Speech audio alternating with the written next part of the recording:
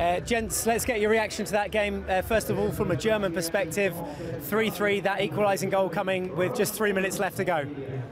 Yeah, we're very happy to actually came back like that. Um, we started um, not bad, but not good enough, especially concerning the scoreboard. We had a lot of chances, a lot of corners. So we can be very happy to have a draw in the end. I think the individual creativity from India was amazing in the counter attack. So all the mistakes are always very dangerous for us. Um, so I thought we bought, we came back better in the second half, and, and I'm in the end very satisfied with the performance of the team. 3 3 a fair result on the day, Roelant, or are you disappointed from not picking up all the points? No, I think it's a fair result. Nevertheless, I'm disappointed because I think we had a huge chance to score the 4 2, and uh, then the game is over for sure, but we didn't. And uh, yeah, I think the inexperience of some of our young players cost us a little bit. We got uh, two cards, seven minutes in the third quarter.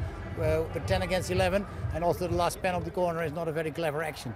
So that is the inexperience of some of our young boys, but okay, they will learn a lot from this, and nevertheless, if you still play uh, 3 all against the Olympic champion, you should be happy about the result.